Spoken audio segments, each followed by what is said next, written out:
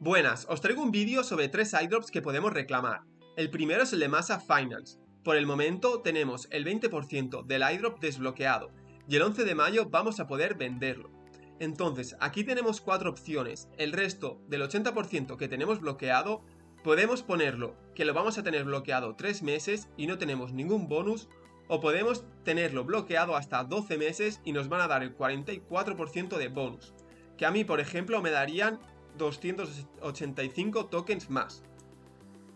El siguiente es que si hemos interactuado con Farcaster, puede ser que seamos elegibles para este Hydro.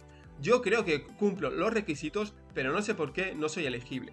Para comprobarlo tenemos que clicar aquí y aquí nos sale si somos elegibles o no. Yo lamentablemente no soy elegible. Y el tercero es el de Cubo, que es un DEX en Starnet que si vamos aquí a Cubo podemos reclamar nuestro iDrop. La verdad que ha sido un iDrop bastante decepcionante. Al principio el precio creo que rondaba los 6 dólares, que hubiese estado un poco mejor, pero ha bajado muchísimo de precio. Creo que ahora ronda los 1,5. Así que es un iDrop bastante mierda, pero bueno, por lo menos algo ha pagado. Y ahora todo lo que os quería comentar, como siempre os agradezco un montón que os suscribáis y también que le dais a like y nos vemos en el siguiente vídeo. Un abrazo.